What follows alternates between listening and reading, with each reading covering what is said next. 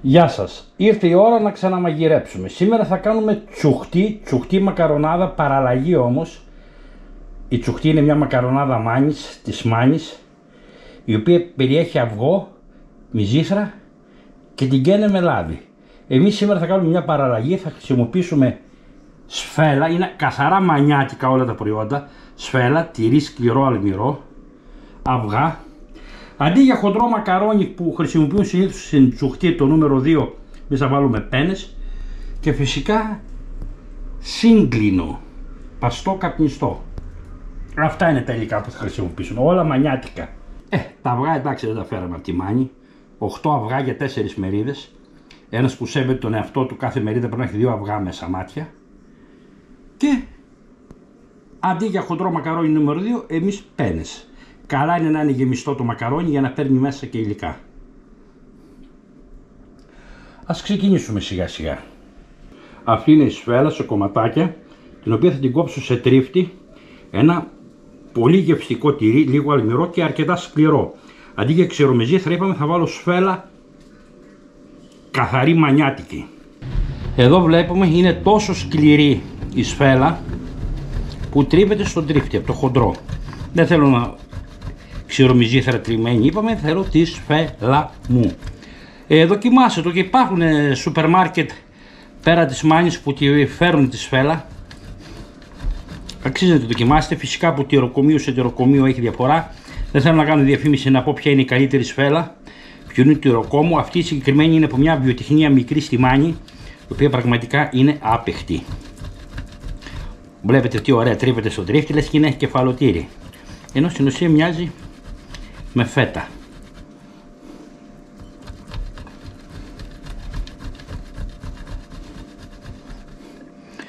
Την είχε έτοιμη σε κομματάκια ο τυροκόμος, καλύτερα να μας απαλλάξει από τον κόπο με την κόβουμε εμείς γιατί είπαμε είναι σκληρή. Κοιτάξτε πως γίνεται, υπέροχη. Και συνεχίζουμε το τρίψιμό μας. Κόψαμε το σύγκλινο σε μικρά κομματάκια, τρίψαμε πιο πριν όπως είπαμε και τη σφέλα μας. Περιμένουμε να βράσουν και οι πένες. Ε, καλά είναι να μην ρίξετε αλάτι ή πάρα πολύ λίγο γιατί θα ρίξουμε αλάτι και στα αυγά από επάνω που θα κάνουμε αλλά και γιατί η σφέλα από μόνη της σας λέω είναι πάρα πολύ αλμύρη ε, και να μην ρίξετε καθόλου αλατάκι στα μακαρόνια που βράζουν δεν έγινε και κάτι και μετά θα έρθει η ώρα για τα αυγά να πάρουν τη θέση τους στο τηγάνι. Αχνίζουν τόσο πολύ που θα μπω εκεί κάμερα. Λοιπόν, είπαμε, τις πένες τις προτιμώ λίγο παραβρασμένες και όχι αλτέντε, όλα τα ζυμαρικά γενικώς. Προτιμώ να φουσκώνουν στην κατσαρόλα και όχι στο στομάχι μου. Αυτή είναι η θεωρία μου. Πάμε παρακάτω. Ήρθε και η ώρα των αυγών στο τηγανάκι μας. Θα βάλουμε λίγο αλατάκι, λίγο πάπρικα, καπνιστή και λίγο πιπέρι από επάνω. Επίσης θέλω να πω ότι τα αυγά τα προτιμώ να είναι λίγο σφιχτός ο κρόκος, η τσουχτή, το θέλει να είναι λίγο μελάτο το αυγό να γίνεται μέσα σε ζυμαρικά, γούστα είναι αυτά, καθαρά γούστα. Με την πάπρικα από επάνω ήρθα και το χρωματάκι, ε πώς θα γίνει. Και θα ρίξουμε σιγά σιγά με το κουταλάκι της σούπας από πάνω από τους κρόκους λίγο λάδι καυτό για να σφίξει και ο κρόκος από επάνω γιατί όπως σας είπα τον θέλω σκληρό τον κρόκο. Με το κουταλάκι από επάνω λίγο καυτό λάδι για να σφίξει ο κρόκος γιατί σας είπα τον θέλουμε σφίχτο, είναι καθαρά γούστα αυτά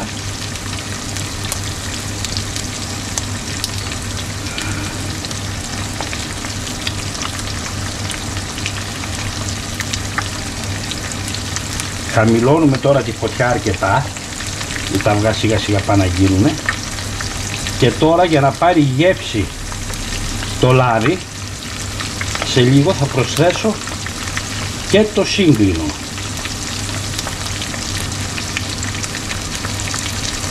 Ε, και άμα κάποιος κρόκος είναι και λίγο μελάτος δεν θα μαλώσουμε τον εαυτό μας δεν έγινε και κάτι Το σύγκλινο τρώγεται και σκέτο, εννοείται, δεν το συζητάω. Και είναι πεντανόστιμο. Αλλά και τώρα εδώ θα πουλιωθεί όλο το πιάτο και το λάδι, ξάλλου το σύγκλινο δεν θέλει πάρα πολύ ψήσιμο.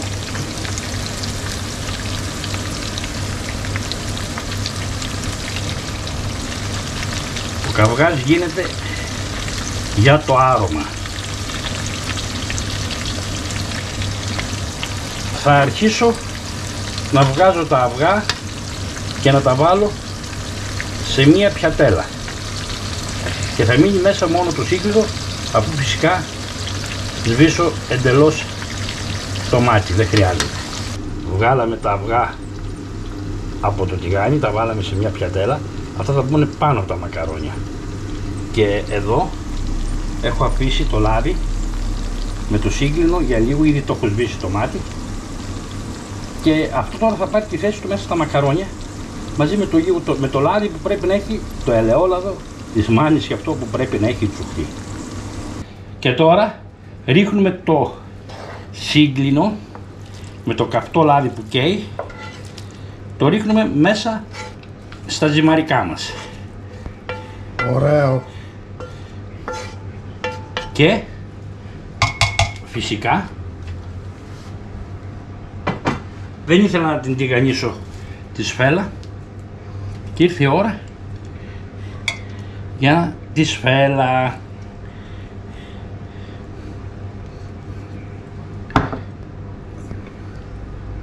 Και όλο αυτό το ανακατεύουμε.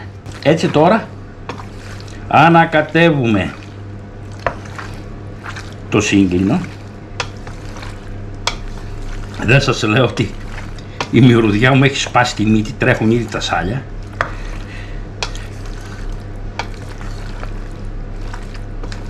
Από πάνω φυσικά αν θέλουμε μπορούμε να ρίξουμε και ξηρομιζήθρα και ό,τι άλλο θέλουμε. Η σφαίρα είπαμε είναι σχετικά σκληρή, δεν γιώνει και τόσο εύκολα, είναι καλό αυτό. Θα προσθέσω και την υπόλοιπη σφαίρα, έχουμε και άλλη αν θέλουμε να τρίψουμε πάνω από τα βουλάκια μας.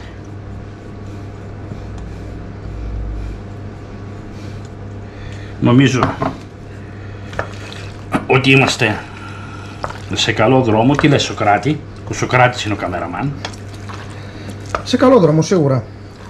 Δεν αμφιβάλλω.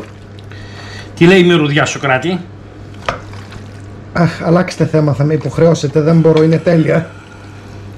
Το μείγμα έχει ομογενοποιηθεί. Περιμένουμε λίγο να κρυώσει. Μου αρέσει να τα τρώω λίγο πιο κρύα τα φαγητά και όχι ζεστά γιατί πιστεύω καταλαβαίνεις καλύτερα τη γεύση τους. Εδώ θα μπει στο κάθε πιάτο και από πάνω ένα με δύο αυγά όσα θέλει ο καθένας. Γρήγορα, απλά, ε, την ώρα που βράζουν τα μακαρόνια μπορείς να ετοιμάσεις και τα αυγά αν θέλεις, εγώ δεν το έκανα αυτό. Ε, ήμουνα και μόνος στο κάτω-κάτω, αλλά ε, όσο χρόνο θέλουν να βράσουν τα μακαρόνια, αυτός είναι και ο χρόνος. Τα όλα, τα όλα τα άλλα γίνονται πάρα πάρα πολύ γρήγορα. Εδώ έχω κάνει και μια άλλη αιτία ε, δεν τα έκοψε ίδια τα αυγά, οι πίτρες τα έβαλα και ενωμένα. Κάποιος έχει περισσότερο ασπράδι, κάποιος λιγότερο. Ε, εγώ μαγειρεύω, εγώ πρέπει να ευλογήσω και τα γένια μου. Και τώρα το κάθε αυγουλάκι θα πάει πάνω από την κάθε μεριδούλα. Έρχεται. Το λάδι που έβαλα είναι πάρα πολύ λίγο και το λάδι όλο το ρούφηξαν τα μακαρόνια τα ζυμαρικά. Δεν υπάρχει ίχνος λαδιού μες στην κατσαρόλα. Του σοκαράτι του έβαλα λίγο πιο μελάτο αυγό. Για σοκαράτι, για σπάσε το αυγολάκι. Σπάστο έτσι. Μπράβο. Ε, εντάξει. Σπάσε και φάγω. Διατηρεί ακόμα την υγρότητά του. Και φάει και λίγο. Πες μας την άποψή σου. Το βλέμμα μου τα λέει όλα. Δείχνω το πιάτο τώρα. Καλή σας όρεξη, τολμήστε το γρήγορα, απλά εύκολα. Και αν θέλετε, μην βάζετε σύγκλινο, κάντε την κανονική την τζουχτή που είναι χωρίς παστό, καπνιστό κρέας. Καλή σας όρεξη. Αυτό είναι το πιάτο του μάγειρα. Περιποιημένο με τα βουλάκια του, με όλα του. Σκέφτομαι να το ρίξω λίγο κεφαλοτήρι από πάνω, αλλά λέω όχι, όχι, όχι θα χαλάσει η γεύση, αλλά το θέλουμε καθαρά μανιάτικο, με σύγκλινο και σφέλα.